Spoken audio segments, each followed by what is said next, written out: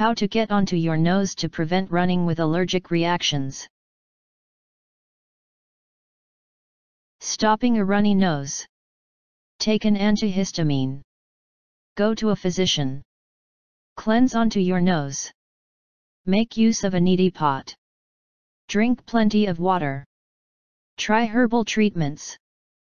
Humidify your air.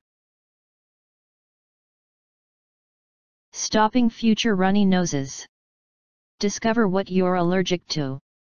Avoid triggers. Cover the face. Wash both hands frequently. Wash the face after entering connection with allergens.